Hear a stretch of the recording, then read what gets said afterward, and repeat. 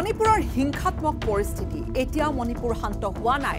আৰু আজি অৰ্থাৎ আজি সোমবাৰে মণিপুৰৰ এনে হিংসাত্মক পৰিস্থিতিৰ মাজতে পোনপটীয়াকৈ হস্তক্ষেপ কৰিছে সৰ্বোচ্চ ন্যায়ালয়ে দেশৰ। মণিপুৰৰ গোটেই শেহতীয়া পৰিস্থিতি তদাৰক কৰিব এতিয়া ছুপ্ৰিম কোৰ্টে অগ্নিগৰ্ভা হৈ থকা মণিপুৰৰ বাবে এখন বিশেষ কমিটি গঠনৰ আজি সিদ্ধান্ত লোৱা হ'ল। আৰু সেই কমিটি উচ্চ ন্যায়ালয়ৰ প্ৰাক্তন তিনিগৰাকী ন্যায়াধীশৰ নেতৃত্বত গঠনৰ সিদ্ধান্তৰ সৈতে মণিপুৰৰ গোটেই পৰিস্থিতি যাতে পোনপটীয়াকৈ তদাৰক কৰি থাকিব পৰা যায় যাতে প্ৰতিটো মুহূৰ্ত যাতে শান্তি স্থাপনৰ বাবে গোটেইখিনি যাতে সৰ্বোচ্চখিনি যাতে দিব পৰা যায় তাৰ বাবে এই সিদ্ধান্ত লোৱা হৈছে এই কমিটিয়ে প্ৰতিটো কথাই মণিপুৰৰ শেহতীয়া পৰিস্থিতিৰ তদাৰক কৰিব। জম্মু কাশ্মীৰৰ উচ্চ ন্যায়ালয়ৰ প্ৰাক্তন ন্যায়াধীশ গীতা মিত্তলৰ নেতৃত্বত গঠিত এই কমিটিখনত লগতে থাকিব বম্বে হাইকোৰ্টৰ প্ৰাক্তন ন্যায়াধীশ শালিনী আৰু দিল্লী উচ্চ ন্যায়ালয়ৰ প্ৰাক্তন ন্যায়াধীশ আশা মেনন। মহাৰাষ্ট্ৰৰ প্ৰাক্তন আই পি এছক হিংসাত্মক ঘটনাবোৰৰ তদন্তৰ দায়িত্ব অৰ্পণ কৰা হৈছে।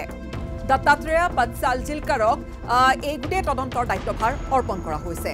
ইতিমধ্যে কৈছোৱেই যে মহিলাৰ বিৰুদ্ধে হোৱা অপৰাধৰ যিখিনি গোচৰ এই গোচৰখিনিৰ তদন্তৰ বাবে ইতিমধ্যে চি বি আইক দায়িত্ব অৰ্পণ কৰা হৈছে।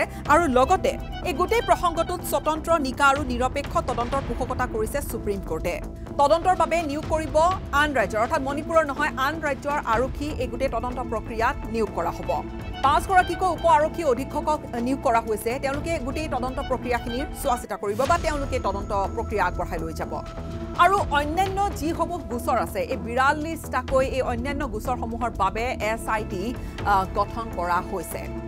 এই যে বিৰাল্লিছটাকৈ এছ আই টি আৰক্ষীৰ এছ আই টি গঠন কৰা হৈছে এই এছ আই টিসমূহৰ নেতৃত্বত থাকিব একোগৰাকী এছ পি পৰ্যায়ৰ বিষয়া। আৰু লগতে এছ আই টিক নিৰীক্ষণ কৰিব ডি আই জি পৰ্যায়ৰ বিষয়। এতিয়া প্ৰসংগটো হৈছে যে কোনো এখন ৰাজ্যৰ আভ্যন্তৰীণ বিষয়বোৰত এই ধৰণে পোনপটীয়াকৈ আচলতে হস্তক্ষেপ কৰাৰ বা সৰ্বোচ্চ ন্যায়ালয়ে দেশৰ এই ধৰণে হস্তক্ষেপ কৰি বিশেষকৈ বিশেষভাৱে তদাৰক কৰাৰ এই ধৰণৰ নজিৰ আচলতে ক'বলৈ গ'লে আমাৰ দেশত খুব কমেই হয়তো ওলাব। এতিয়া বিশেষকৈ মণিপুৰৰ ক্ষেত্ৰত মে' মাহৰ পৰা চলি থকা যিখিনি পৰিস্থিতি এতিয়া সকলোৱে বিচাৰে যে মণিপুৰত আচলতে শান্তি স্থাপন হওক পূৰ্বৰ মণিপুৰৰ যি পৰিস্থিতি সেয়া উভতি আহক স্বাভাৱিক জীৱন যাত্ৰা উভতি আহক।